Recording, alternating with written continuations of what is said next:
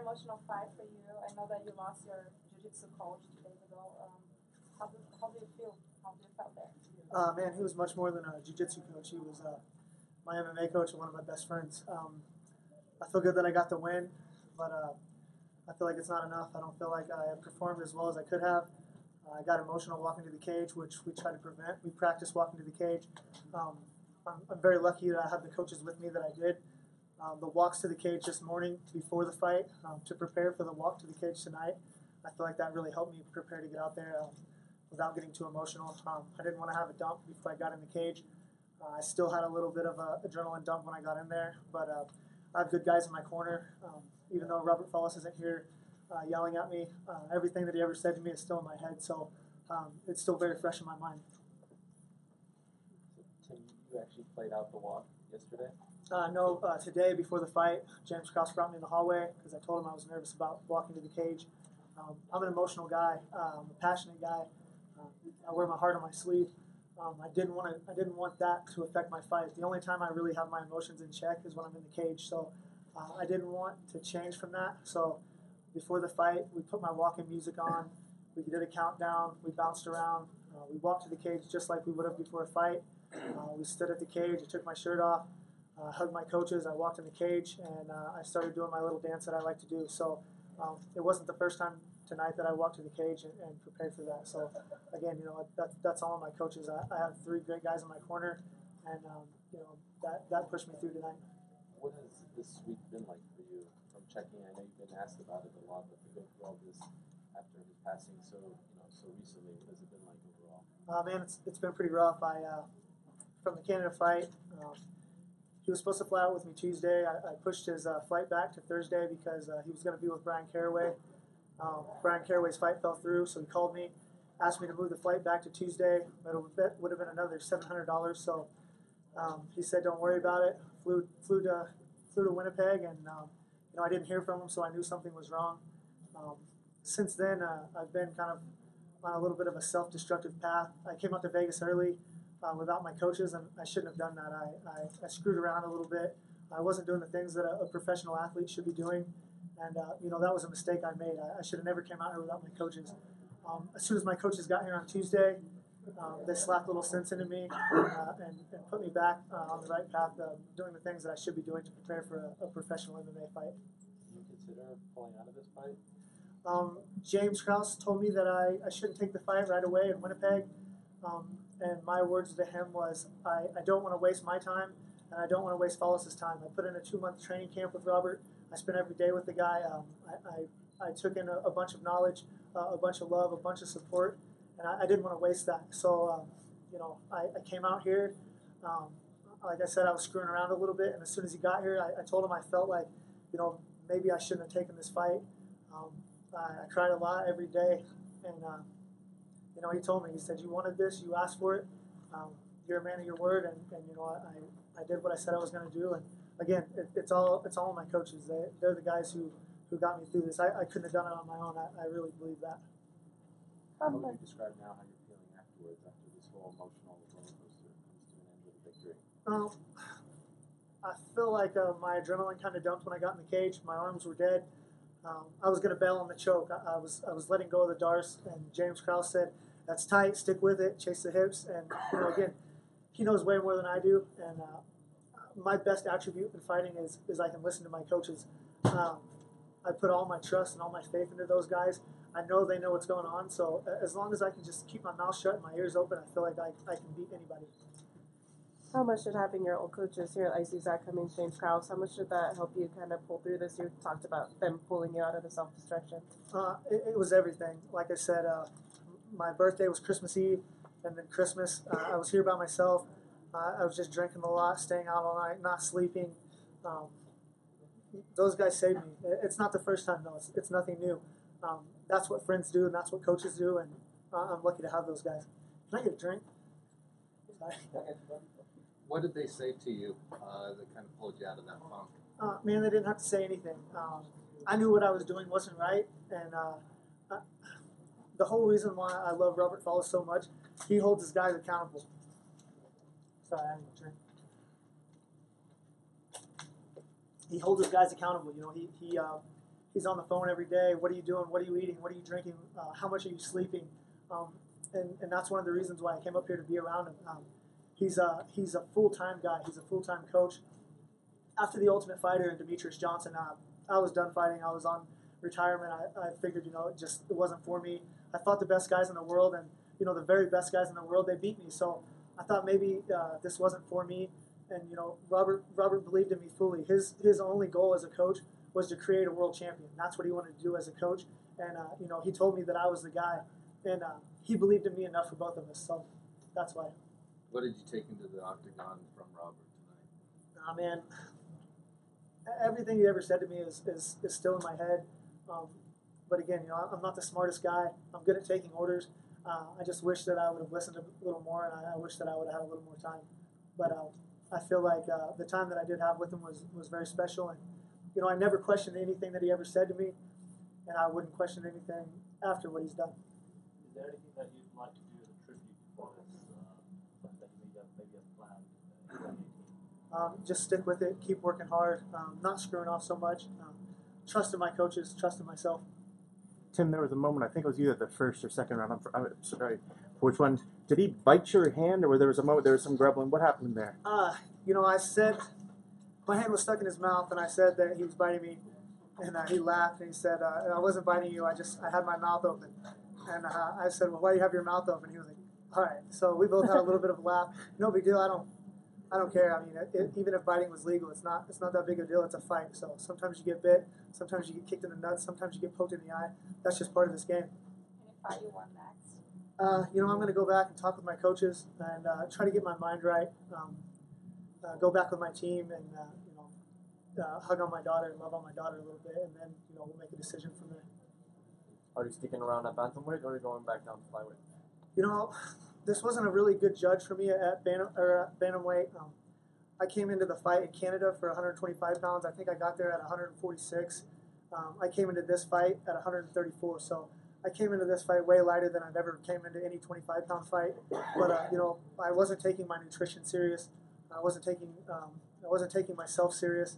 Um, and uh, you know, I feel like it showed. I I was dry in the fight. My mouth was dry. My, my arms were dead. Um, I wasn't really feeling it. My feet weren't working like normal.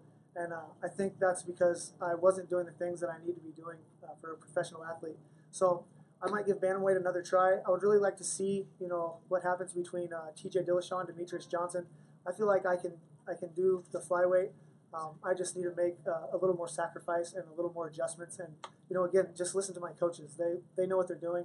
Um, that's the great thing about this. I have such good guys. Like I don't even have to think. All I have to do is, is do what I'm told, and and um, I feel like if I do that, then um, I can make the weight and I can beat good guys. Tim, the guy you were supposed to fight in Canada, Mango, was released yesterday. Are you surprised?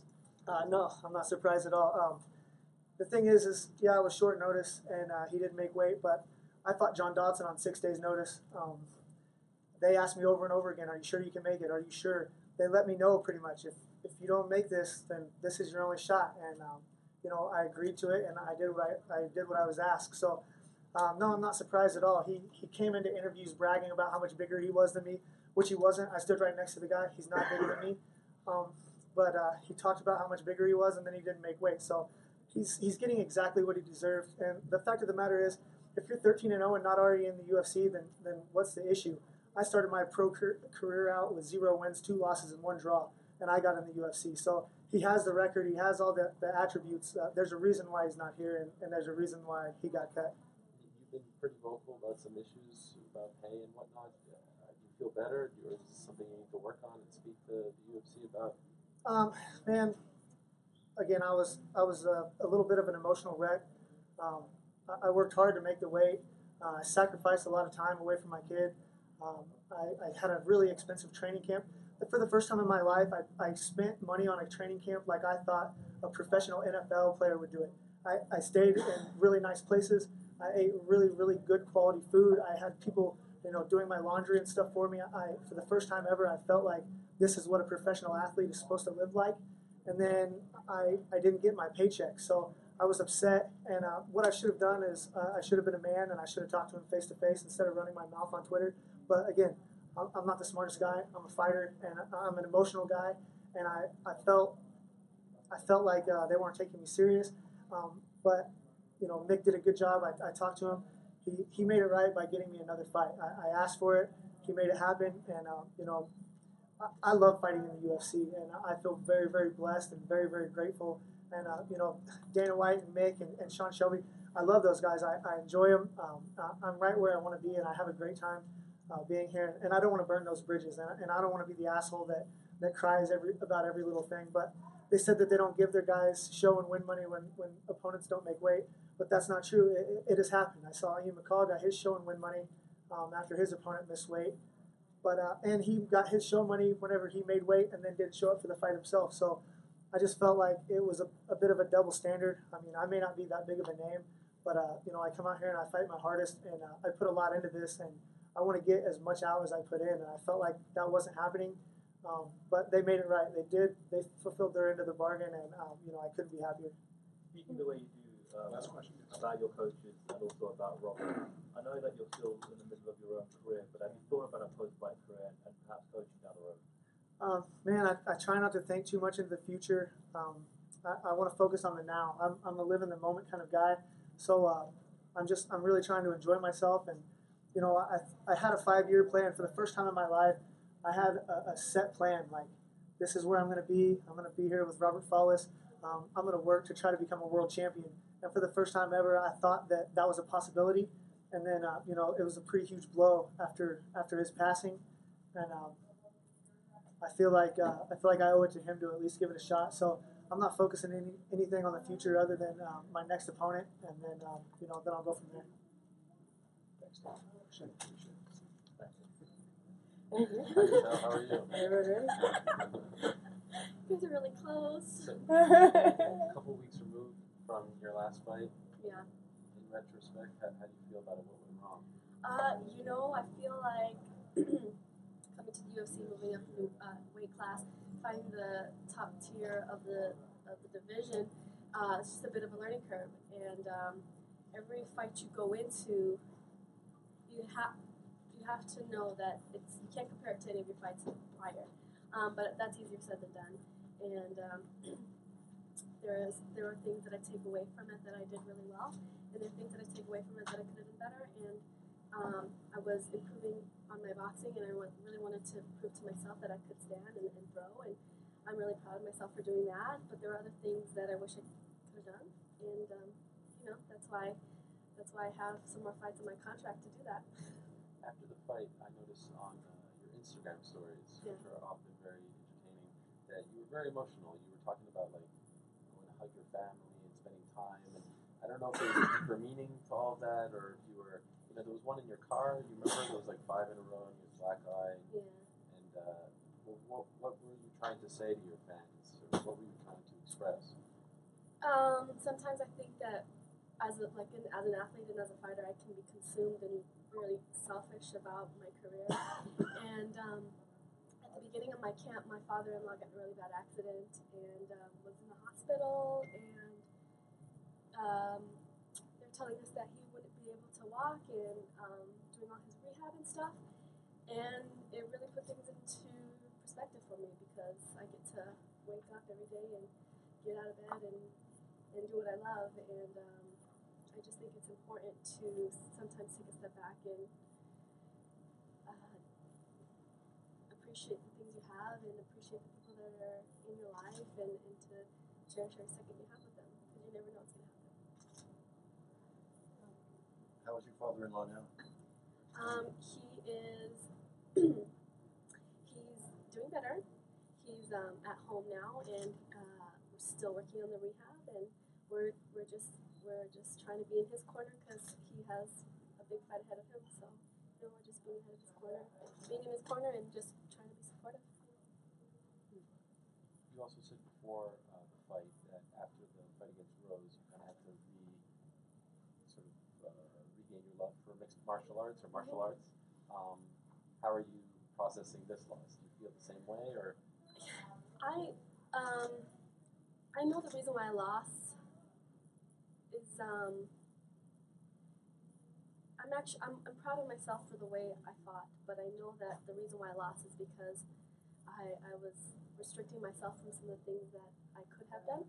Um, and that does kind of reignite my passion for for fighting. Um, it's like a constant search for who I need to be as a as a fighter, and and the minute you think you've learned something new, something else falls off, and that's why I love martial arts so much, is because it takes so much for it to all come together. And um, it was kind of a hard pill to swallow. I've never fought, I've never lost two in a row, and um, it's just it's not something that that settles well in your stomach, um, especially around the holidays. You want to come home and, and spend time with your family and, and celebrate, and but uh, that's life. and um, I, I'm grateful for the opportunity. I know that I went out there and I did well. Tecia's, you know, a, a highly ranked fighter. She's going off to, to, to fight big names as well, and and I'm just um, proud to say that I that I got in there and, and threw down with her. So. When you look at the growing state of the women's divisions in the UFC, you came from atomweight. How much do you, you think that that division would, I think, be a good one to have here in the UFC? Um, I think they should add a lot more weight classes, especially for the women, because uh, we we hold on to weight differently than men do, and if you give um, the women a division to flourish in where they're not having to struggle to, to add muscle, to, to cut weight, then um, they're going to show up. You know, I, I think we, we've done a good job at, at, coming into the UFC and, and showing that, that we're just as passionate as, as everybody else. Give, you know, give them the platform to, to, to show their skills and abilities, and they're going to show up every time. So. Would you ever consider going back to atomweight if it were here in the UFC? Um, I don't know. I, I guess um, you, you, you can never, I'll never say never, um, but I do feel comfortable at 115. Um, I worry less about cutting weight and worry more about training, and I think that's more important, and I'd, I'd rather I take that advantage. But um, like I say, never say never. If the division opens and it's a good opportunity for me, then then see where it takes me. Now that 2018 is or 2017 is almost done, 2018 is, is coming up. I feel like it's sort of been like a tale of two years for you. You've, become like a superstar almost. You're on MTV and body armor and stuff. But in the cage, it hasn't gone your. How would you describe this year? How, how does it feel like um, a mix of emotions? Yeah, a hundred percent. You know, um, fighting is my passion. Martial arts is my passion. Um, but I also understand that it's important for me to take advantage of this platform that I'm on, so that I can build my brand, so that when I'm done fighting, I have um, something to fall back on. Um, but with that being said, I I look forward to getting back in the win column and, and climbing back up the ranks and, and making that my priority. How soon do you think you will back? I'd like to fight um, March, if I could. Um, I'm really looking forward to watching the bout tonight between Carla and uh, Cynthia. I think either one of those girls would be a fun match between me. Um, also, you know, I know Felice has been on a four-fight win streak. You know, her and I kind of grew up in the sport together. I think that would be an entertaining fight. Um, but at this point, I just want to get in the win column. So, so we'll see who they give me. Um, one question about the, the main event.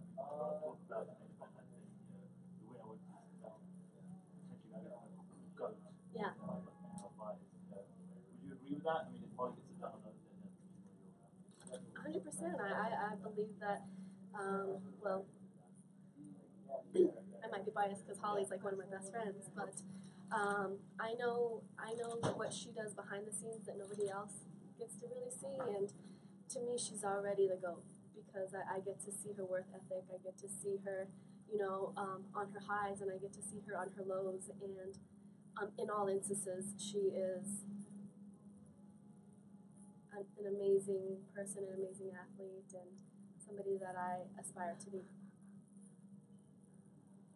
Thank you. Thanks, Michelle. Thank you. The Godfather. Like I said, every time I feel like you're, you're taking one step up. I'm improving all the time, Yeah. so I gotta Look live what it I up. got here, this jacket. Uh, Versace limited edition. Wow. Ah. And, uh, and, and, and the shoes. Zanman. Wow. And the belt. Versace. Wow. Look at you. Yeah, you have good eyes. You got to dress like a champion now, right? yeah, because I know I'm gonna get that money, so it's all good. So you just squared off with him for the first time. What, what did you make of yesterday? What were your takeaways? I like it. Uh, it's a it's a good uh, atmosphere. I know uh, it's uh, it's also friendly, but uh, whenever you know we, we shook hands, you know, in backstage, but whenever we face off now, you know, it's getting it's getting real. We can see now it's uh, time to fight. Soon it's gonna be in less than four weeks, you know. So now it's it's, it's getting that time. I saw that you tweeted the picture of the, the split screen, and you were saying like, oh, you'll let him talk because you know you know what's coming. So you feel like he's himself up, maybe he's looking past you. He's talking a lot about next opponent, possible opponent. He talked about some matchup. He says he's a random guy. You know, he doesn't see no, no, no opponents when, whenever he's going to face somebody, but he has to know uh, somebody specific facing him. You know, so it's going to be me. I, you know, that kind of. I'm bringing some some some kind of strengths. You know, some kind of game plan and stuff. So you better watch out. How much more intensity did you feel after meeting with him? You said the stare down it felt more real. How did you feel that intensity as well, like in the fighting blood kind of? No, thing? it's not too much. It's not like uh, that kind of intensity, but also for me, you know, you're training, you stay, you're spending your time in the gym every day. You know, I'm not going out, I'm not doing crazy stuff.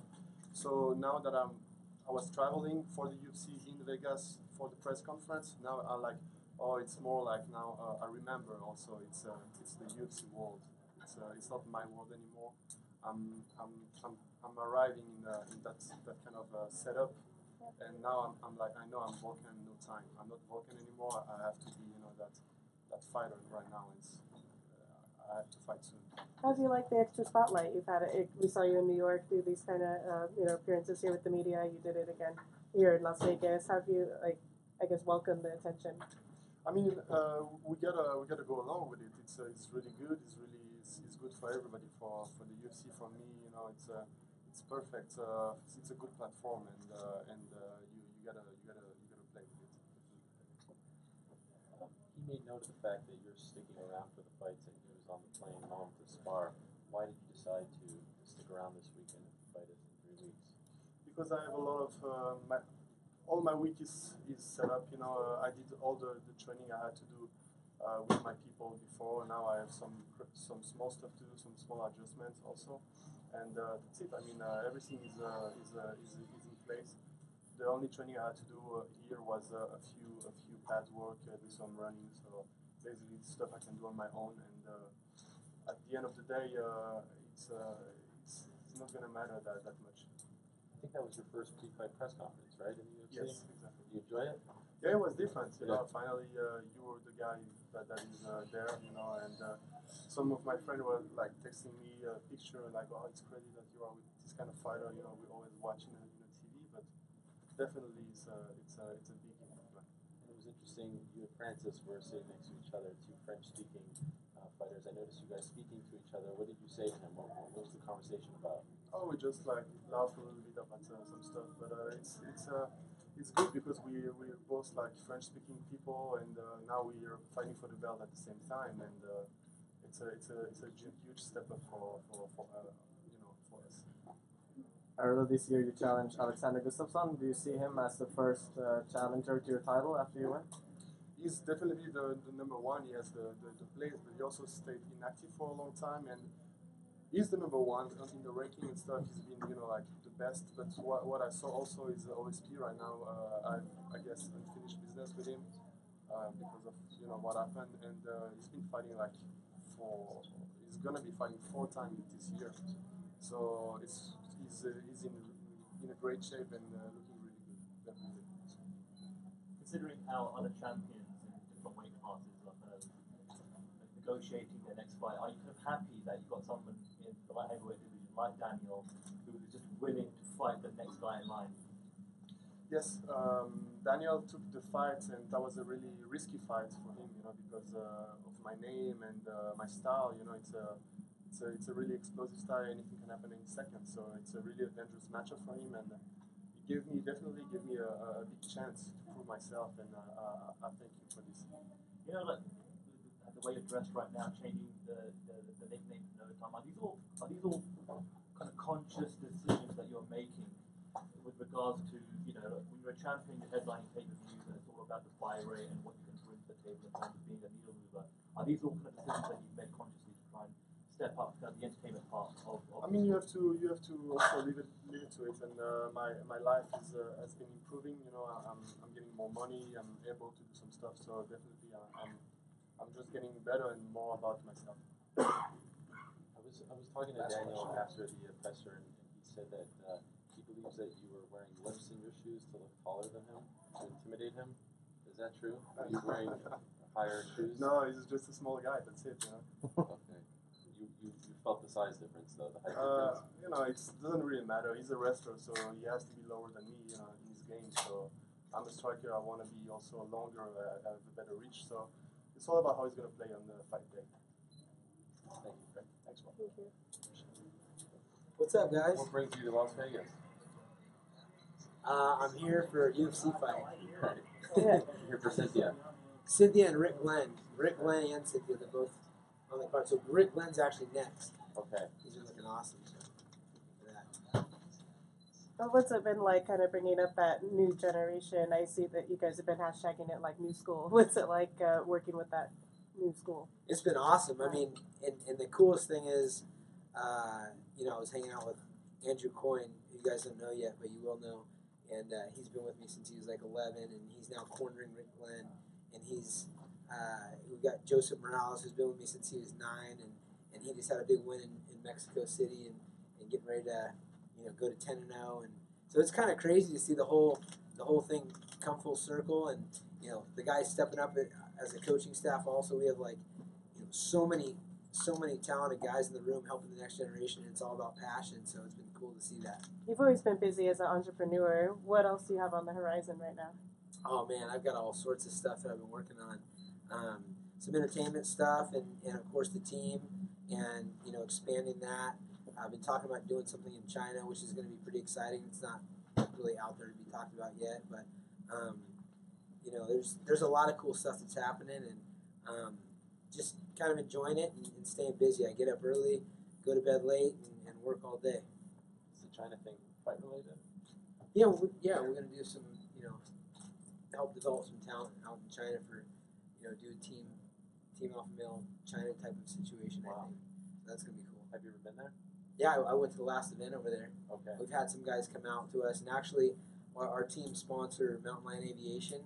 They're Jim Wilkinson. He's a he's a good friend, but also uh, someone that supports our team. He has a lot of uh, relationships in China as well, so it's, it's kind of a cool thing to see UFC going over there and, and, and the sport expanding, you know, to the most populated portion of the world. You know, it's exciting. What do you think of the talent there? It's really good. I think when I was over there, I think five Chinese fighters, and they all won, and they all had tough, tough fights. It wasn't like they're, you know, given cupcakes. You know, it was it was tough. It was tough competition, and they, they're talented. I mean, that's that's the martial arts is is uh, you know kind of born there in, in, in that type of in that part of the world in a lot of ways. So it's cool to see it come full circle. Would you consider doing something like that in India as well? Yeah, talking about India. Uh, I mean, both those places. I mean, fighting such an international thing. I mean, it's the most primal thing, but but the most common thing. I mean, everybody loves a good fight, and everybody has probably gotten in some sort of conflict in some shape or form. So it's cool to see the whole world It's kind of bringing people together. I think, which is awesome. So, so I understand Cody's back in uh, California. He took a vacation in Thailand, right? Yeah. Baby moon, if you will. Baby Moon, yeah, him and his his uh, his wife. I mean, she she goes every single year, so he, he got to tag along this year. I'm just wondering how he's doing a month later. We haven't heard much from him. Like, how, how do you have you had a chance to talk to him? How he's assessing life as not being champion? Um, you know, in his mind, he's still a champion, you know, and, and you know, once a champ, always a champ. But he, he definitely is hungry. It was really cool to see him directly after the fight, the way he reacted. I mean, because he's he's not the easiest guy in practice. You know, if somebody gets the better of him or there's something he, he he's you know he can he can throw a little fit on occasion. To see the way he handled a loss like that was awesome and just spoke a lot about him as an individual. And I was excited for the things that he said directly afterwards, which were you know all about forward thinking and about getting on to the next the next path and getting that get that strap back. So uh, I mean he's what 25 years old and 25 or 26 and you know he's excited. He went out on vacation and just ended up training the whole time, which you know he was trying to relax. It out. You know it's that's pretty common, I think. But it was cool to see him just grinding over there on vacation. You seem to have a very special relationship with Sage Northcutt. You were in Yeah. the corner and he won. Uh, what did you make of his performance? And, and what would you, you know, he, I know he has another fight now, but like, how, how are you sort of mapping out? You, is he doing better than you thought? I mean, you guys seem to Oh, really absolutely. Sage, I mean, you know, as far as a, a positive like energy, I've never really met anyone like that. He's he's he like brings joy wherever he goes. He's like Santa with abs, you know. So uh, it's it's really cool to have him in the room. I mean, he just he brightens the mood. Everybody loves him, and he, he's you know he's genuine. You know his whole his whole you know the way he comes off is real genuine, and and uh, he learns super fast. I mean, it's crazy. So it's just find those little bits and pieces to fit into an already great skill set and great mindset and, and good genetics and, and a lot of hard work. And I think you know I'm encouraging him. You know, he's too nice to say he's going to go get the strap, but uh, that's in his mind. And I don't know, you know, at, at what point does somebody just decide they want to be a champion? I think he's probably had that for a long time, but I, I'm- I'm encouraging him to voice it because I think he can be a world champion, and, and we're on a path to do that. So, um, you know, it's it's been awesome to see him progress, and, and I think uh, you know he's going to be a, a world champ. Is Yair Rodriguez still doing work with you guys? No, yeah, Yair just came out for, for a couple weeks, and uh, he, he talked about possibly coming out, but I know he's got you know a pretty good situation where he's at. He was talking about possibly bringing a trainer and doing some camps, but uh, we're friendly with Yair, and he's welcome, but uh, he hasn't made the move. Along the same lines as, as Sage, have you been, um, I don't know, maybe surprised a little bit at Cynthia's progression? I mean, this could be her fifth win in 2017.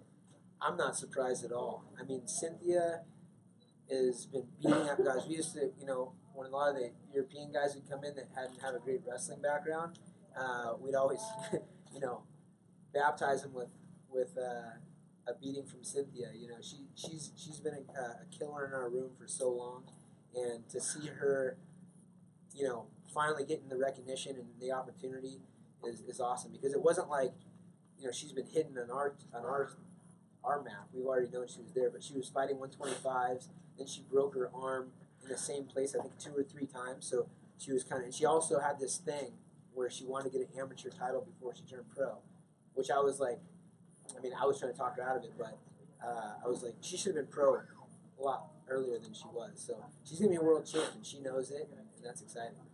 How, how are these new guys that come into the gym and you put Cynthia up against them? How do they react to that?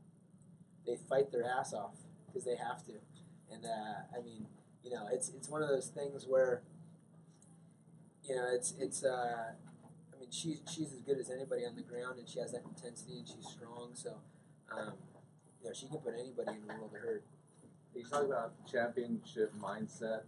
I find that interesting. That uh, do you feel that there's a lot of fighters that, that don't think of themselves as champions, and at what point do do they have to vocalize it, or when when do they become that have that mindset? I it really, I think there's a lot of fighters that don't see themselves that way, and that's a problem. I mean, if you're not in, if you're not in the sport to be the best, then you know you're just you're on the wrong path. And I had to learn that myself. It was a growing process for me, making goals as a you know as a college athlete, as a high school athlete, and never writing down to be a champion was kind of weird. I'd always want to get to the state tournament and place be an all American, and and it was something I learned after college that you have to voice it and you have to think, I want to be the best and I'm going to be the best. And so sometimes it's just relaying that message and, and, and printing it on them, uh, you know, throughout the workouts. I mean, we have a real good energy in our gym, and um, we want everybody thinking that. So it's a process. Who's going to be the next champion out of the gym? Well, there's a lot of guys that are going to be champions. We've got Joseph Morales, uh, who we just he's been with us since nine. You know, he's looking for the championship. Benito Lopez. I mean, I could name all my guys that are going to be. For somebody that you have never heard of and is still an amateur, uh, Kaleo Romero. He's a kid that is a state runner-up in California, and I mean, he has to. I, I talk about this all the time, and at the end of practice, but he has to be. You know, he's always in the gym he, he called me and, he, and he's like, hey, it's Saturday night. And he's like, Urijah, I just set off the alarm. I didn't realize everybody left. I'm in the shower. And I left, I, le- I was the last one to leave, but the alarm's going off in the gym. And I'm like, all right, cool. You know, so that kid right there, Kaleo, is uh, is a kid that, that I have high hopes for. And he's, he's, like I said, he's an amateur. He's about to turn pro. I know you have to go with a prediction for Calvillo as far as a break it down for us. You know, Esparza is is tough, but I just think it's going to be. I I don't wouldn't normally say this, but I think it's going to be a one sided affair. I'm not sure where uh, where she can better better Cynthia. I mean, Cynthia's solid on her on her stand up. Her stand up's been getting better and better. And if you know she wants to take her down, that's going to be a world of hurt. I think you know we're looking at a world champ, so I'm in my mind Cynthia's going to show that she's you know heads and toes, heads and shoulders above her. Yeah. Thank you. That was a pretty dominant performance tonight. You know, how would you kind of rate that performance uh, in your own mind? Uh, was really good, you know. I knew that Smoke is a really, really tough opponent. I got him with uh, really clean shots, and he could he kept fighting, you know. Even when he got knocked down, he was like not even not even trying to survive, but he was trying to submit me. So I was kind of surprised with that, but I think it was a, a good challenge for me, you know, and I could show why I'm here fighting with the top guys in the world. Where do you think a performance like that puts you next? I mean, do you have an opponent in mind? Do you have a roadmap of what you'd like to do next? Uh, not yet. What I know is that I'm I want to fight with the best. You know, I think that that victory put me with the the, the top 15. Of course, before I was ranked top 10, and now I just put the top 13. So I think that I'm top 10 again. And I don't know who's gonna be my next step in my career. Right now, I just want to enjoy that that victory, you know, and sit with my team and see what's gonna be the, the next step. But I'm pretty sure that I want to rank it guy, and as I said before, I'm all the way up. You know, I'm I'm I'm thinking high, of course. You had him very hurt at the end of the first round. Are you surprised how, how tough he was and survived all the way through all three rounds? I knew uh, that he was a really really tough opponent, you know, but I was kind of surprised. I mean, three knockdowns in one round, you know, and uh, a big cut, and he still, like I said, he was not just trying to survive, but he was trying to submit me even when he was out of the fight. So it, this got me kind of surprised, but I keep the game playing, I keep cool, you know, I didn't try to rush things, and I think I did a good job. What was the game plan for him? Uh, the game plan was basically uh, put my weapons on top of his game. I knew that he's a very solid ground game and he's like to put the rhythm. So I didn't want to let him put the rhythm fight. And being a taller opponent that he is, I knew that body shot would be a good way for getting victory, and that was I did. You know, uh, instead of trying to look for his head first, I was trying to look for his body first, make him slow, and then look for his head. And I think that I did right and got the victory. This was your first fight since July of 2016 at the USADA issue. Can you uh, give us your side of the story there and what it has been like dealing with that and trying to get over it? Yeah, it was kind of it was a really really tough moment of my career. Of course, I didn't expect that. I could expect to be hurt and anything, but not the doping stuff. And this happened with me. I don't know if you know the case about how the amount was really low amount of anastrozole. Everybody, there was other guys, as soon as he saw my, my case, they, they say to me, "Hey, this is something tainted and everything." And but it is what it is. You know, we have to. The process have to going the way it is. So it was a really tough moment of my career, but I think the tough mom- moments is what make us harder. And I, I grew up a lot in that time that I was uh, away from the octagon, you know, not just as a man, but as a martial artist, you know. And now I'm back, I'm back, um, and I think that I'm back uh, better martial artist and better man, and ready for big challenges. I noticed that you tweeted, uh, you know, the flyweight division needs someone to take over. You feel like uh, it's a little stale? What, what were you trying to say there? Because of course you have the champion who's been so dominant. What were you trying to say? I'm trying to say that I'm here to put some fun in that. You know, I think they, they needed a new blood, and I am the new blood. You know, I'm, I'm pretty sure that I have uh, all the skills that I need to to go, as I say, all the way up. And of course, I think step by step. You know, I have a, a big road into the top of the division, but I'm pretty sure that I can put a lot of fun in that division. Anyone who makes sense for you as a particular name? I know you talk about rankings and whatnot, but is there a fight that makes Yeah, sense? right now I don't have a, a name, but as I say, I want to rank a ranked guy, of course. But for now, I, I want to enjoy the know, it was like a really tough year. I think I deserve the time for enjoy a little bit, enjoy the new years, and then I'm gonna sit with my team and see exactly who's gonna be the next step of my career. But as I said before, I wanna rank as man, of course. I'm just curious. I know you're now with uh, you know Eduardo Alonso, you know, guys like Demian Maia around you. Um, for a young guy like yourself to be around people who have been around the sport for so long, how has that helped you? Yeah, it helped me a lot, you know. And it's not just now. Before that, I was in the Nova União. I, I was there for five years, training with Renan Barão, Jussier Formiga, Aldo, Eduardo Dantas, you know. I always try to to train with the best guys, you know, the champions. After this, I, I, I, I went to Jackson Wink, and then I have a very, very good trainers over there. And now I'm in Demi Vila da Luta in São Paulo, and I think I just Right, right now I discover where is my home is. You know, I'm really happy over there. I think I have the best training camp for my for a fight. You know, everything was really really specific, and I'm just honored to be where I am right now. Obrigado. Parabéns. Thank you. Obrigado. Mais um pouquinho em português agora. I I was just wondering, a big fight coming up, obviously, Mark Hunt. Um, what's that feeling like to you to face somebody that you've seen as a veteran of the sport? excitement and uh, appreciative of the UFC is gonna give me a chance to fight a legend, live a legend, and uh, I wasn't expecting it so soon, but I'm happy they did it, and I'm looking forward to put on a show. I mean, my hands have gotten better. I know his hands are very dangerous, but my hands plus my wrestling, I think it's a great fight. Is he somebody that you looked up to as you came up through the sport as, at all, or? I mean, yeah, I've always respected Mark Hunt, but I don't have his style, obviously. But you can't help but respect the guy who's been doing it for as long as he has at the level he has. Like, I know he doesn't have the biggest record. I mean, the best record, but everyone knows he only fights the best of the best, which is why I feel recognized. Like, they give me Mark Hunt, so it means something. What do you think of, or what do you make of what he's been through with the, the back and forth of the UFC in the last kind of like year to 18 months? Mm. Uh, I haven't really paid the biggest attention to it, but I have heard like how they pulled him from the last card he was supposed to fight. Was it Werdum or Tybura? One of those guys, and it's been uh, weird. Like I talk about it with my friends, uh, teammates. Uh, I feel for him. I I feel like he's done so much for combat sports as a whole, especially MMA and the UFC. He should should be able to ask for like I want to. He's like Michael Jordan. He's like a Charles Barkley. Like he's a legend. He should be able to ask for whatever he wants to.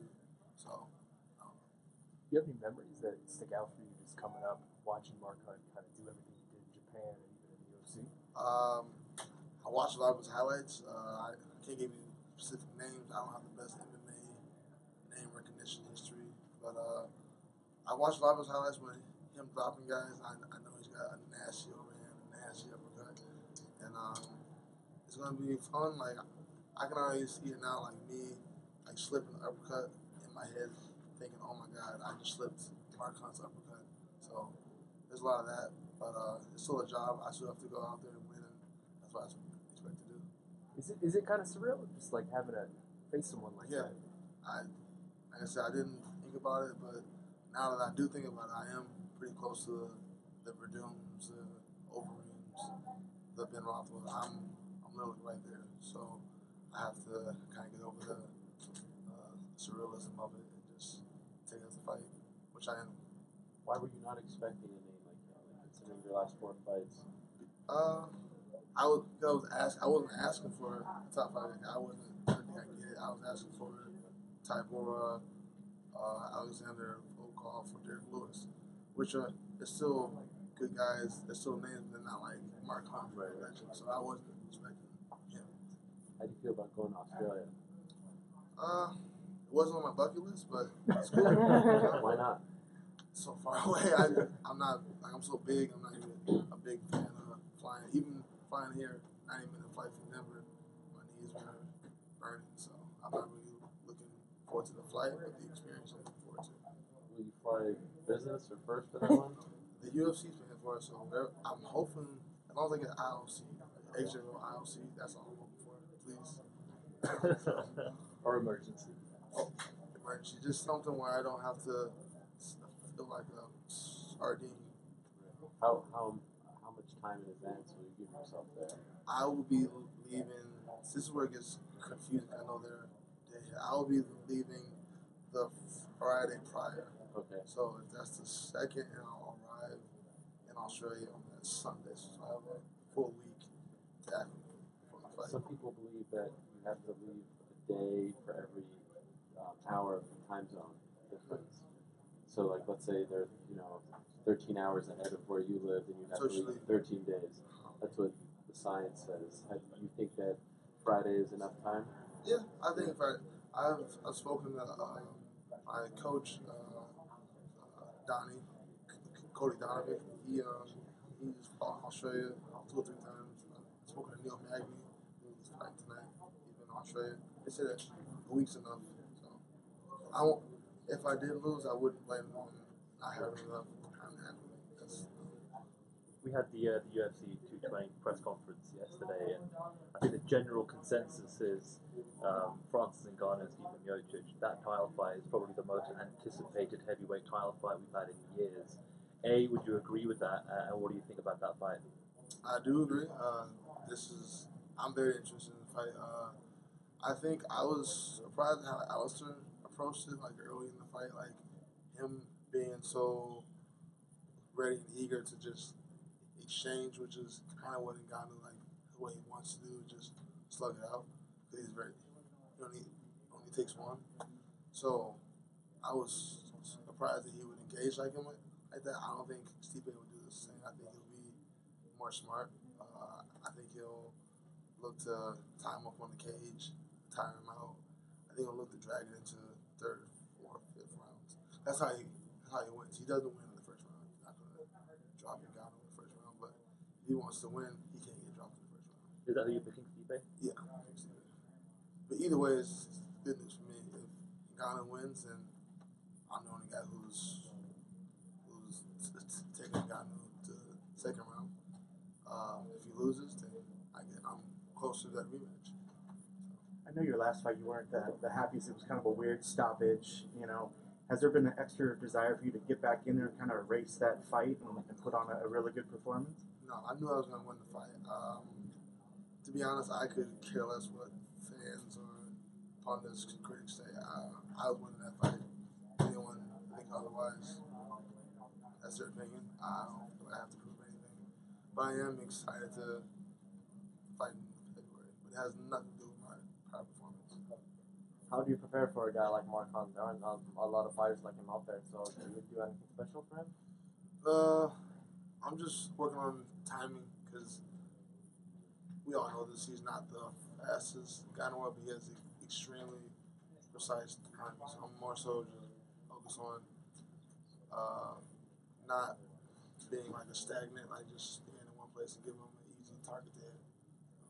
With all the distractions he's had, you know, outside of the cage, do you think this is the perfect time to be fighting Mark Hunt? I, I actually haven't really thought about the distractions as a plus for me, but I, I guess they could be. But regardless, uh, he's going to be a tough fight. I, I know he's a veteran. He's not going to bring any outside nonsense to the cage. He's there to fight. He's there to win. So am I. In a strange way, do you, do you think it was almost like, I don't want to say beneficial, but maybe beneficial for you to get Francis so early in your career and kind of get that, maybe that first UFC loss out of the way? And we didn't know then what we know about him now. It doesn't look like a bad loss at all. Mm, that's one way to put it, I guess. Uh, I'm, I'm not ever going to be happy about a loss. Uh, I feel like had I debuted and I had my training camp out of uh, Denver, would have been much different. But that's neither here nor there. I'm not going to pine over it. But uh, maybe could be a good thing. I did get the loss out of the way. It, did. It did spur me to move from Chicago to Denver. So maybe it could be seen as a good thing. Thank you. Thank you. Thanks. Thank you. I just dumped water on my It's so hot, man. Vegas dry. Congrats on the victory. Are you happy with it? Uh, yeah, yeah, man. I, I was honestly, I was happy going into the fight because um, worked my butt off in this camp and had a good time. And you know, whenever you come away with a victory in, this game at this level, I mean, I'm happy. All good, you know, all good. So it feels like we see like we last saw you in uh, April, right? Yes. Eight months. Do you want to be more consistent in 2018 you're, you're on a bit of a roll now. Is that is that a goal, or do you like these long breaks in between fights? Uh, yeah, I want to stay more consistent. You know, it's just everything. You know, health and personal stuff. You know, aside. And, know, if I'm if I'm health, healthy and I'm able to like train and, and prepare the way I should, yeah, I want to I want to stay more active. It's uh, you know, this game is just very uh, what, what's the word? Consuming, or you know, like when you got a girl, like your girl takes up a big portion of your of your life. That's how this game is. It's like a wife, man. It's like when you're in it, you got to focus all on it or not be in it. You know, so as long as I'm able to do that, be married to it and stuff, uh, yeah, yeah, I like married. What are some of the other things that are sort of taking? Uh, you know, I don't want to. I don't like like dwelling in the past and whatnot, bringing up old old shit. But uh, you know, some some training stuff, uh, moving, had my kid, uh, my my my first son, me and my girl, um, getting adjusted being a dad, and uh, honestly, it's just like my whole life I just trained and fought, and uh, like the last couple of years, I kind of like had to put training aside, kind of grow up as a person, like I said, kid, and become more of a man, and I had to get rid of some people that were around me and all that, and kind of like take four steps back, take eight steps forward. Type, type of stuff. So that makes sense. A lot of fights. Became a dad. I became a dad like uh, June 29th. Oh, congrats. How, how how is life as as a father, and how has that changed you? Uh, life as a father is awesome, man. Like like at first, like when my girl told me, I was like three or four wait, weeks away from fighting Charles Oliveira, and I came home and my girl was like, "What? What's up with you?" You know? and she was just like all weird and stuff, and I was like, "Oh shit! Like, is everything okay? Like somebody died or something?" She's like, "I'm pregnant," and I was just like, "Like, what, what do you mean?" And I, at- at first, I said I was like kind of reacting, and I was like, "Wait, hold up! Like, This is one of those moments in life, you know, where you got to be like." it's gonna be all right. Like, babe, yes, we're gonna get through this. But I, I was scared shitless. You know, I was scared, and uh, since, since I had Mac, my son, you know, I've kind of, kind of gotten like adjusted to where like I can still fight and have a son because I, I honestly was never planning on having a kid until I was done fighting. So it, it, it was, it was a tough adjustment for me. Honestly, I just made, I made it tougher than it had to be. Like I was just scared, nervous, you know. But stronger man for it. My son's a G. He's uh, you know, what I'm saying he's like a little boy dude. He plays with swords and guns all day, so it's tight. So At six months? He's, he's a year, year and six months. A year? Oh, last. Yeah, last, last year. okay. yeah. What's it like being back at Alliance? Awesome, awesome. Uh, I got Jeremy Stephens. He's fighting in a couple of weeks. He was like main training partner for me. Me and Eric were, were jamming. Eric Del Fierro, all camp, man, just putting in work, uh, grinding, just uh, just really, just really living it, man. And uh, the team's awesome. San Diego's awesome as always. So going into this fight, I really felt like best shape. Um, you know, Alliance is where I need to be, and uh, that's where I'm at now. So it, it's awesome. You mentioned there were people around you that I, I guess weren't good for you. Is this the change that you kind of needed on a personal level to be able to get back into focus for uh, everything that you do as a fighter? Well, you know, like the, the people. I'm not gonna say who it was, but there were some people that, that you guys wouldn't guess, like unless I straight up told you, um, that I need to get it kind of away from me.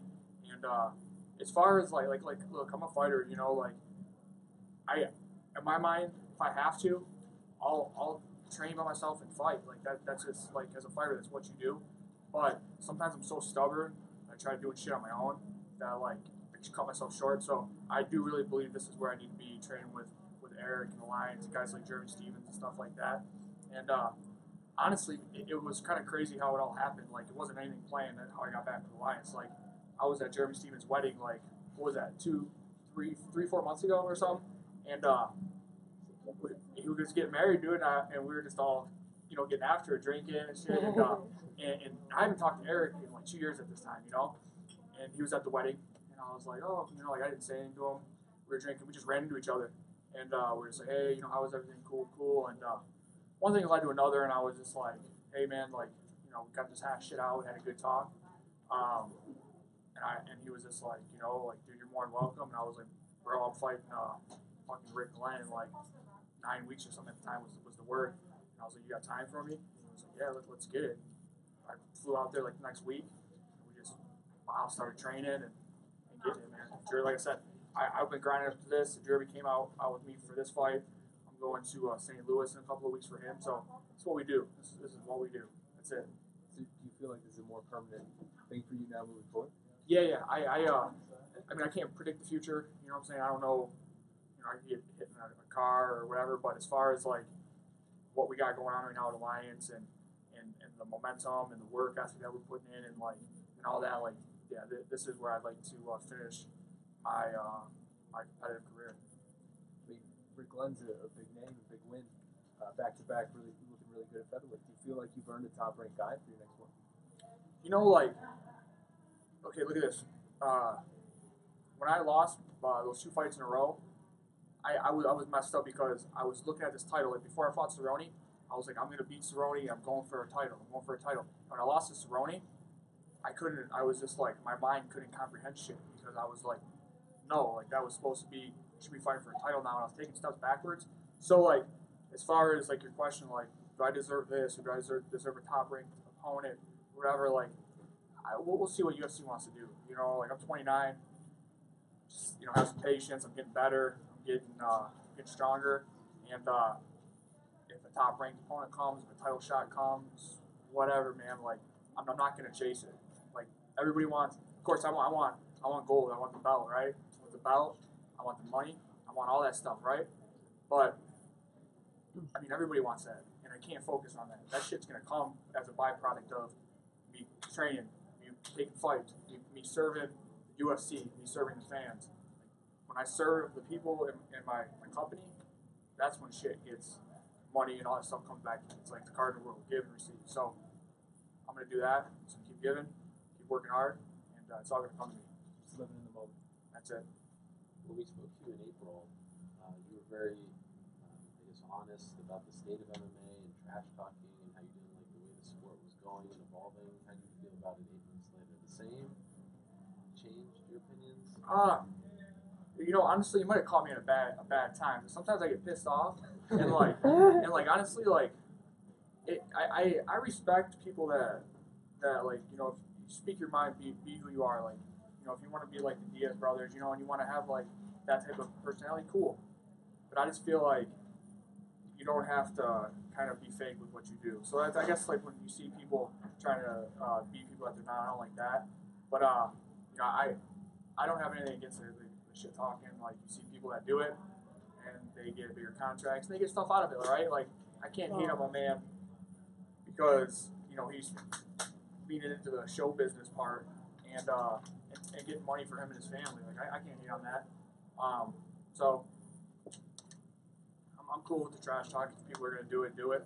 It's just uh, just don't look stupid doing it because you know if, if you're fake, then pe- people aren't dumb. You know what I'm saying? Like, people aren't dumb. People can tell, you know, who's genuine and who's not. Awesome. Thanks, guys. Thank you. Uh, just being at a UFC event, you kind of feel like you belong here. Uh, well, I absolutely 100% belong in the UFC. Uh, I know that I am one of the best, if not the best, 135er in the world, especially on my best day. And so I know that I belong in the UFC. Uh, I'm very happy to have the opportunity with Invicta. Uh, main event, UFC Fight Pass. It's an opportunity to again prove why I should be here uh, with the organization that has the highest of the high in terms of talent. And uh, I, I feel great being at events, helping coach in the corner, uh, but also just being in the cage is, is where I belong. Why aren't you in the UFC? You know, that I'm not sure. I think partially when I fought in the UFC in the past, I didn't have my best performances. I didn't show up. And that's the name of the game is show up, put yourself out there, have exciting fights. And my first start of the career was, I don't know, I think eight finishes in a row. And I need to get back to that. And that's why January 13th, that's what's happening. Patty is ready to come in. She's a striker. I clearly like to strike. And this is an opportunity for me to shove in everyone's face who Sarah Kaufman is. Happy Canadian, killer in the cage. Do you take this opportunity as, as a chance, like do you view it as a chance to get back, or are you not even thinking about the UFC anymore? At this stage of my career, of course, the UFC has the top talent. They have so many females to challenge yourself with every day that you have the opportunity to get in there. But I'm ready at this stage of my career to fight for myself, to fight for just why I can be the best.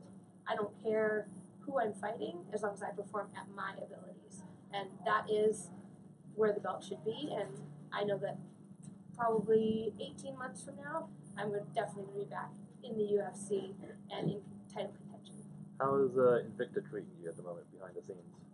Invicta's great. Uh, I've always, I mean, I've worked with Shannon Knapp at Strikeforce, and through Invicta, I fought for them once before.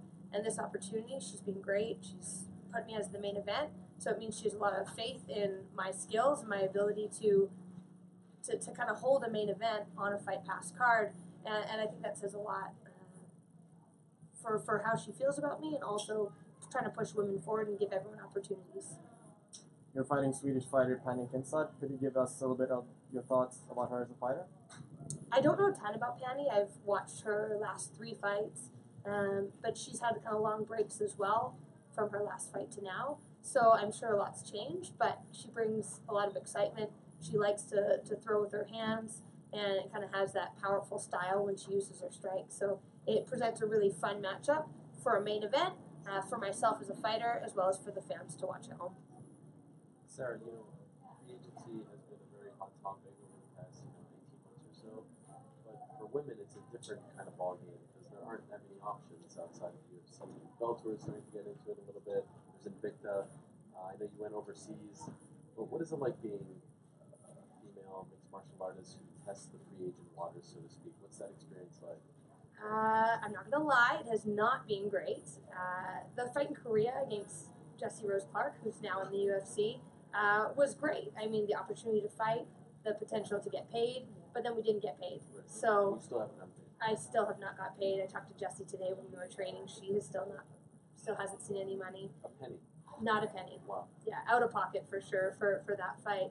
But I had a couple other opportunities throughout the year, and they just kept falling through. One fell through three days before, one fell through a couple weeks before, and it's definitely been very frustrating. Uh, partially, I think because of my skill level, there are not a lot of girls willing to step up and fight me. In the UFC, the big issue I think was there weren't girls stepping up to fight me. I was clawing and scratching and trying to put my name out there for any opportunity, uh, and my name never would come up because people would just say no to the fights. And so I think that's also being part of the, the issue in trying, trying to find fights outside of the UFC is just girls say no when they hear Sarah Kaufman. Have you given up on getting that money at this point, or are you still trying to get it? I mean, I love money, so I would still like to get it. Money from Korea. From not Korea. I understand, yeah, okay, yes. okay, I mean. I like all money, Yes, but the money that I worked for and earned and put my body on the line for, uh, I've tried to contact them, but they they kind of kept in contact for maybe till like July, August, and I haven't heard from them since. Has anyone gotten paid for the card? Yeah, some people did. Oh, wow. Um, part of the card got paid, and then they ran out of money, and then just, sorry, Wow. we're in Korea. So at least now you have something a little more stable with Invicta, and hopefully that leads to getting back here. That's kind of Yeah, in, Invicta, I know I'm going to get paid. I know I'm going to get a fight opportunity. Um, they've been really good. I actually originally had a different opponent, and then we got Pannie maybe two weeks ago. So I'm just happy to have an opponent and one who's game and willing to step in the cage and put herself on the line to let me get a win. You said you're the happy Canadian, but is it fair to say that maybe you have a chip on your shoulder, considering everything Um, you know, I actually feel like I have less of a chip on my shoulder. I think in the past I was frustrated. Uh, I mean, when Ronda had the belt, I had already fought Ronda, so I feel like a lot of the opportunities weren't there because they were trying to get new people for Ronda. And then when Holly won, and then Misha, and now Amanda, I think it's really opened up the landscape at 135. And the UFC needs bantamweights. They need exciting bantamweights. And so my goal, January 13th, is to remind people that I am the exciting bantamweight that they need. I'm not just a bantamweight, I'm the exciting bantamweight. And that's what I need to do January 13th. Thank. Thanks. Then next to him and translate or? Yeah, that's fine. Yep. Unless he can do it himself. No. He's dope. Dzień dobry. Good. Good. Yep, thank you. Okay. Nie, no, dla mnie powiem ci to nie dochodzi. Serio. What did he say? He said that he still like not realized what happened. But if that was a long way because the fi- first fight got cancelled and stuff like that. So So let's say, that- does he mean that it, it feels surreal that he got a win in the UFC? That it, it's just it's hard to process at this point? Pytała się, co, co ci tam najbardziej, co ci najbardziej zaskakuje, że to pierwsza wygrana w UFC, czy ogólnie cały ten proces? Ale co mnie zaskakuje? To, to, to, to co mówiłeś, że nie wiedziałeś, no? Nie wiem, no kurde, co, dlaczego do mnie nie dochodzi, bo jest to bardzo duże wydarzenie. Wiadomo, że miałem e, tam wiarę w to, że wygram, no ale nie wiedziałem, że zrobię to aż w taki sposób, że po prostu zdominuję Kyla na wszystkich płaszczyznach. No i to, to mnie najbardziej cieszy i dlatego to nie dochodzi do mnie.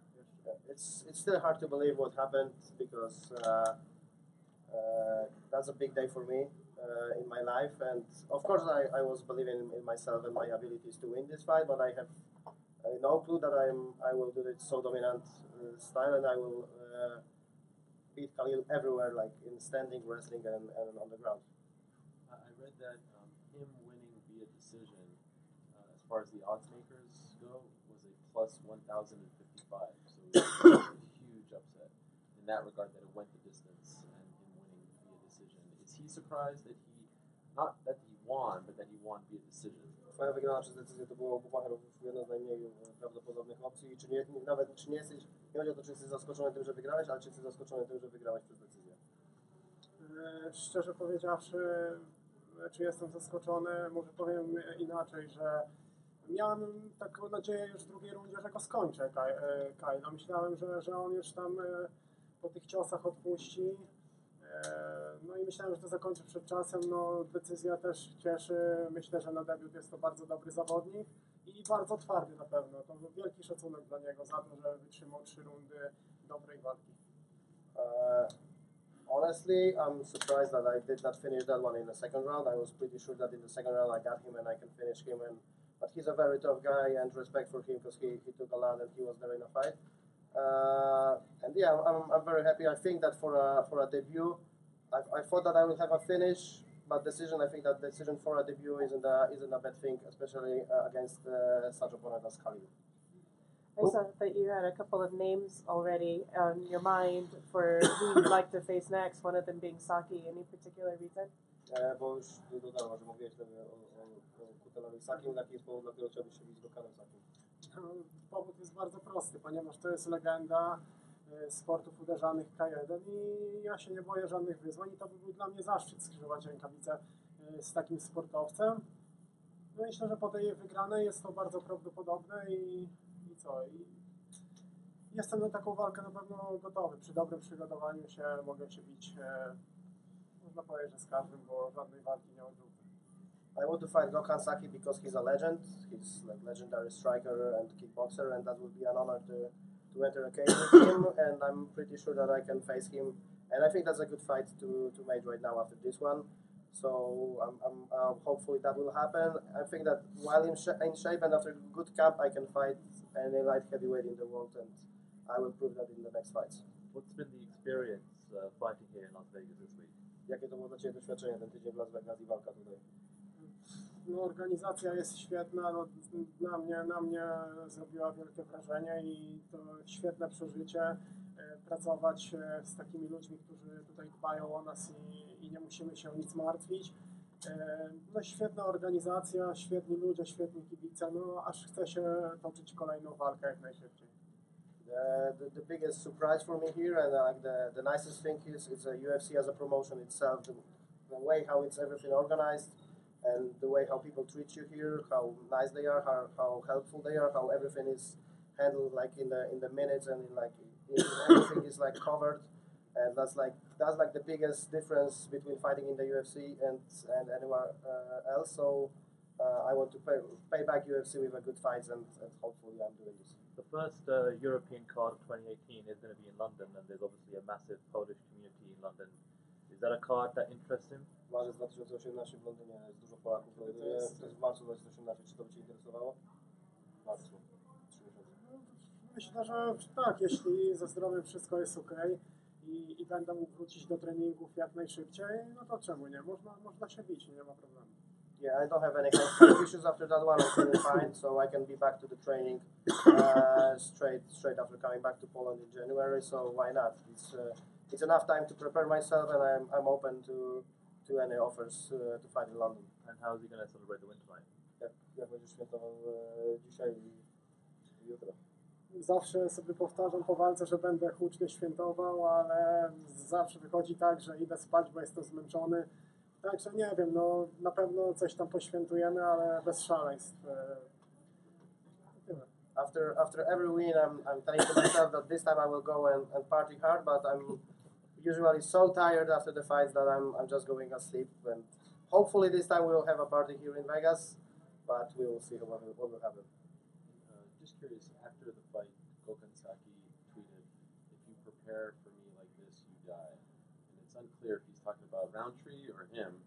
Uh, I'm just curious what he thinks of that statement. Maybe both of them. Bo Kansaki napisał na Twitterze po tej walce, jeśli tak się szykujesz na mnie, to, to giniesz. I teraz nie wiadomo, czy to, do, do kogo to było, ale e, jak ty się do tego, do tego odnosisz, do takiego e, tweeta z jego strony? Nie, no, myślę, że tutaj no, z mojej strony na pewno wyszła ta propozycja dlatego, że no bo chciałbym zawalczyć z e, takiego kalibru zawodnikiem i tutaj nie ma żadnej e, złej krwi. No i tyle, no z mojej strony to tyle, no po prostu chciałbym stoczyć sportową walkę bez żadnych tam podtekstów. E, Wyzwałem go normalnie na sportową walkę, no i, i tyle, no. Uh, if that tweet was addressed to me, uh, I just want to state that I called out Gokasaki because he's a legend. That was a sports call out, and it's not all about bad blood. I just want to uh, face a sports legend, and uh, Gokasaki is that legend. How many stitches, by the way? You don't know which one? I have no idea. Look like four. Okay. You weighed in at uh, 203 uh, yes, uh, two days ago. Um, you don't cut a lot of weight, or was it uh, a miscalculated weight cut? Wniosłeś tylko 203 funty na wagę. Tniesz mało wagi, czy pomyliłeś się w obliczeniach i zrobiłeś za dużo? E, Znaczy nie, no z, e, ogólnie zbijam e, wagę ze 105 kg, ale teraz mogę powiedzieć już po walce na spokojnie, że byłem, byłem chory na grypę, e, tydzień przed walką e, złapał mnie wirus i myślę, że to też spowodowało e, tak szybki spadek wagi i dlatego tyle ważyłam. I usually cut down from like 220, but now I can, uh, as it's, it's post fight, I can I can tell you that uh, I had a flu uh, like one week before, and I, I I feel very bad. I lost a lot of weight, and that's why I uh, weighed below the limit. Thank you. Thank you, guys. Thank you. Was that the Carlos Condit that you were expecting? Yeah, absolutely. I mean, going to this fight, I definitely thought it would be a close fight. Uh, I knew we would, go strike for strike, uh, submission for submission. So I definitely expected it to be a super close fight. Uh, that first round, let me see that the wrestling was the only way I can break away in this fight and start getting an advantage. So I ran with it. Did you expect him to be more aggressive? Um, you just never know. I mean, uh, it's been a while since he's fought last. He had plenty of things he, he was working on. Um, I thought that Woody's he's worked was more grappling related, just based on how he fought today. He might want to go out there and showcase his grappling. Were you happy with your performance? Yeah, I was pretty happy with it. There were some things I could definitely done better, but overall, I'm happy with the performance. Like what? So uh, one thing I didn't like was uh, my my striking. I could have been a little more active with it and push forward a little bit more. But uh, at the same time, being a little cautious not to get caught being too aggressive. Were you surprised at all by the way he fought? Did he seem like he was rusty at all? Because I mean, you followed his career, you know something about him. No, not at all. I mean, uh, he went out there and he, he put on a great fight. I don't think the fight was uh, as clearly decisive as it was. I think the biggest thing with the takedowns was what was separated the fight, but he, he seemed like normal college comp to me. he went out there trying to put it on. You uh, you seem to catch the low kick a lot. Is that something you knew was coming, or is that something you just reacted to in the fight? Um, so that's something I knew a lot of guys were game planning against me. I mean, uh, since the Res Larkin pointed out, everyone's been attacking that lead leg. So I, if I were fighting me, I'd kick the hell out of that front leg too. So uh, I expected that would be something his uh, coach put in his game plan. What do you think this will take you now? Um, I have no idea where this takes me now. I mean, I'm waiting for the phone calls to come in Monday morning and see who's next. How are you going to celebrate this big win? Oh man, this is going to some of my uh, fiance friends and family are in town this weekend. I mean, uh, it's been a long year for my family and I, so it goes out this win with a big, it goes out this year with a big win. It feels amazing. He's probably going to go help somebody, is what he's going to do. There's someone that needs it. Carlos can be very dangerous off his off his back at times. Did you ever feel threatened when you were on top? Uh, no, not at all. I mean, uh, this is literally a position we drilled in practice over and over and over. And we got to the point that I was like, Coach, I'm done with the guard. I'm done doing these elbows on the top. I'm done controlling the wrist. Let me do something else. So uh, my coach prepared me for every aspect of this fight. So I didn't see anything that surprised me out there. The ca- catching the kicks, is that something you started training more after the Larkin fight, or was Larkin just an off night for you? Uh, no, he definitely pointed something out with the low kicks. He uh, uh, just, I mean, he did his homework. He pointed it out, and every guy I fought since then has been attacking that lead leg. So uh, I knew it was something that they were, they would put in their game plan when they're getting ready to fight me. So um, I just have to adapt to it and get better. I can't allow my leg to get kicked out and not do anything about it. So I was ready to counter and, and uh, make him pay for every leg kick he threw. This is uh, Condit was sort of talking about walking away before this fight. Now you've been in there with him and he, he came away. Do you want him to continue? Do you think he should, or do you think perhaps he's? Um, it's not true. That, that's not a decision for him to make. I mean, this week I had one of my closest friends retire from the sport named Marquardt, and um, it, it, when you when you choose to walk away from the sport, it's something that's entirely up to you and your family, and uh, it just it's not my place to decide. I mean, I wish him the best wherever he decides to do. If it's uh, to continue fighting or if it's to, to hang him up, I just wish him the best whatever he does. But it's not my place to choose what he does next. Were you expecting him to announce his retirement this week? Um, not at all. I mean, the, to come back after a year and a half off, I mean, I feel like the guy had something to prove and he wanted to go out there and do just that. Um, Sorry, I meant Mark Marquardt.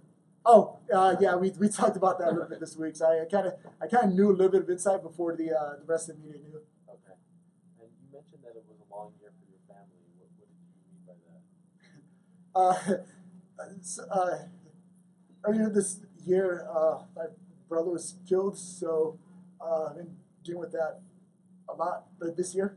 So it's just been something I just kind of try to hold in and not really show much. Just like be strong for my family, strong for guys that look up to me. So um, as much as it affects me, I try not to show it uh, day to day and affect me in any kind of way. When did that happen? Uh, it happened in October this year. Oh, wow. Okay. Sorry to hear that. Uh, that's fine. Sorry. Cool. Right, thank you. Thank you, Thank you. So this year was a pretty tough year for you. Uh, you had fights got rescheduled and visa problems. How, how did you handle it? handle it good. It's everything is part of the game. Injuries, everybody got injuries. I don't gonna I'm not gonna sit and cry and complain about it. Now I got through it, now I'm better, now I'm healthy, now we're gonna fight. And that's all I can care about. And you've been here in Vegas for about a month. Yeah. Are you enjoying the city? I love it. It's uh, I live just next to the PI. I've been there every day, twice a day, working with my team. Took a bunch of Norwegian crazy fucking Vikings coming over and just having fun, training hard, uh, getting working over at Extreme Couture and some of the guys over there. And Kevin Lee helped me a lot with the wrestling, and it's, it's been really good. How come you are on the St. Louis card and not the 220? Was You- that you have to ask, or? yeah, you have to ask Dana White about that. I have no Oh, idea. I, I signed the contract with uh, 220, and they moved it to St. Louis. I don't know why. Even Ariel got it wrong. Even Yes. Ariel. Want to go there? Shows the basketball Yeah. What went into your decision to come out to Las Vegas? Um, mostly because I was supposed to fight here. I was supposed to fight this card, and um, to get uh, rid of the jet lag, which uh, which is uh, like serious problem if you don't take it seriously enough. Um, and uh, to get better training, and in uh, Norway when it's holidays, it's hard to get proper training in. But uh, over here, the training goes all year round, and uh, it's better the training part, or it's a lot of really good talented training partners here. Uh, so it's yeah, it's been, I feel really, really, really sharp now. Since your UFC de- debut, you have been calling on lots of top ranked opponents, and now you finally have the chance to face a top 15 guy in Kamaru. How how does So, that feel? it feels uh, it feels really right. Feels uh, it feels it feels fun. And like I said before, it's uh, one of those fights that makes me want to get up in the morning and, and work my fucking ass off until I pass out. It's, it's like everything I have in mind. I don't want to do anything that can damage that. I'll be I'll be the best festival holidays on uh, on January 14th. You have a big uh, fan base in, in Scandinavia and Nor- Norway, uh, and they like stay behind you, and although that you have cancer fights and stuff like that. How, how does it feel to have this support from Norway? It's really important with support. It's uh, it's you know, it, it's, you fight for yourself, but you also fight for the guys who's rooting for you, and to to have that kind of support through shit and through hell and through pain and injury and all that stuff. It's, it's um, means that it's true fans. Like support, like uh, what's it called? People that fucking root for you when you win. That's everybody's rooting for you when you win. But the one who's still rooting for you when you when you lose and your head's down and everything, that's the one that really matters. You talk about what you're wearing today. Oh, this, oh, this little piece. This is just like, can you see the whole shit? It's just, it's just my. this is just my supporter jersey. I just made it. Fucking awesome. This is me. This is Valhalla. This is my sponsor. This is my logo, and uh, you know this is yeah. I made them to wear for fights, so people can go to the fights, wear this shit, and then they can see like who they're teaming up with, like who they're gonna drink beer with after, and who they're gonna scream my name with together. Do you have one of those big axes in the states, or is it at home? It's still at home. Ah. I, I tried to order one on Amazon, but it, and it looks really cool online, and I got it in the mail. It was like this big, and it was rubber. Didn't use that. Didn't use Yeah, that. post, post. Yeah, like a little baby ass. Yeah, it's good. Thanks, guys. Congrats, Dan. How happy are you with uh, that performance, and how closely did that play out to how you thought the fight would go? Yeah, you know that's that's kind of how we, we planned it. He's an exciting guy, so uh, and he's, he's explosive and very dangerous. So I gave him gave him time uh, to, to, to you know I couldn't I couldn't rush anything. That's when you get silly and get coy. He's got a good good knockout punch. He's got a lot of knockouts. Very dangerous guy. So you have to give dangerous guys the respect they deserve. Are you surprised that he still had it? It looked like even in the third round, he still had a lot left in the gas tank. Did you think that he would maybe burn out a little bit before then? Uh, thought, you know, I won the first and second, so I was expecting him to come out very explosive in the third round because he's playing catch up, of course. He's trying to, got to get a finish in that round, get a 10 8 round. So I, I expected him to push the pace. So I, I started trying to just time something, stay relaxed, uh, and, and I knew the opportunity would come. He took a lazy shot, and that's when I snatched his neck. You guys were you were very respectful there at the end. You went over and looked like you you know thanked him for the fight, but you know at the the, the weigh-ins and, and that sort of thing, it looks like things got a little heated. Did that kind of fire you up for the fight and maybe want make you want to go in there and make a point out Oh, of well, it? that's kind of, that's what he wanted, right? Like he, he was just trying to just trying to go me. Um, I like to brawl. That's like I like to brawl, you know. So you gotta you gotta avoid that. Uh, my coaches just told me that I'm I'm better than that. You know, that's just something I enjoy, but but I'm better than that. I can't give him that fight when I'm when I'm the better fighter. You know, I'm more skilled, more disciplined. So I, I kept my cool. You know, he's just it's just gamesmanship. You know, he's he's young. I don't hold anything against him. I went up to him straight after. I said, just all respect. I I've been around this game a long time, so I know that that exciting fighters need other exciting fighters, and, and high level fighters need other high level fighters. So so he's just you know he's just doing his thing to sell the fight. Uh, but, but I'm not gonna. I just do my thing. I just do me. So that's that's just me. When we spoke earlier in the week, you know, we talked about how one thing that you've been missing so far in your career in the UFC is consistency and, and putting a run together. What do you think has been the, you know, the difference in these last couple of fights for you? Yeah, it's just my you know 45 kind of took my venom, kind of took took that that that, that killer instinct, uh, took my took my ability to think and be technical. Um, you know now now at, at 55 I'm, I'm I'm me. You know this is this is me. I, I expected to go into all these other fights. You know, but I had to learn the hard way. No one held a gun to my head and said you have to make 55. I, I chose that. I did it to myself. And uh, they say never make the same mistake twice. I make it. I make it five times just to be sure. Sure. You, you obviously mentioned the Perth card. Um, you know, are you confident you can get it? I mean, it makes a lot of sense to you know, jump on that card. Close mouth don't get fed in this game. I'm my ass, man. Like I got teammates on that card. Uh, Mark's on that card. Rob's defending his belt. Um, that's that's. Get me on that card, man. Like I want on. Do you care who your opponent is, or you or do you want someone you know at the, at the ladder? You know. Up, down, left, right. It's all the same thing. Um, six weeks is a quick turnaround, so I'm, I'm not waiting for any man. It's kind of first in, first serve. You know, if you want the fight, message Sean, and we'll put it together. I'll sign it tomorrow. Six weeks enough for it, uh, I to get your weight back and cut it down again. Yeah, well, at 55, I don't cut the weight, so I kind of could do it again tomorrow. Like I'm not, I'm ready to go. I'm ready to go. Going back to this fight, talk us through that finish. And is that something that you thought that his fight style would lead into it? If he, if he No, he just he, he just got put under pressure and hit, he, and he took a lazy shot. Uh, that choke. That's my second finish with that choke in the UFC. Uh, it's just, it's, you know, everyone's got things that their body type is good at. That's just that's just something I'm good at. I know it's, you said it's your second time, but once you locked it in, you knew it was done for. I imagine. Yeah, yeah, yeah. Like once I know, once you know, you know. You know, like I, I snatched it up quick. I had it on tight. I knew I was gonna finish. And I heard it was a bit slow on the take. Uh, you can't you can't stop when the when your opponent taps. You got to stop when the ref comes. You mentioned obviously you've been around for a long time. You're a veteran of the sport, and like someone like Marc Diakiese, you know, big prospect coming out of the UK, uh, and now you know he's stumbled a little bit. You know, a couple of back-to-back losses now. If you were able to kind of speak to him, uh, you know, in terms of giving him some advice, what would you say to him right now? Yeah, I've been lucky that I learned like a lot of hard lessons before I got to the UFC. You know, I started my pro career and I dedicated my life to the sport when I was three and three. When I was three wins, three losses as a professional. That's I, I went. I said I'm done. You know, I was three wins, three losses, and I said I'm done with the sport. I hate it. I'm over it. I went and got a I went and got a sales job. I was there one day. I knocked on one door. The guy was rude to me. I wanted to punch him, and I said, "I'm going back to the gym."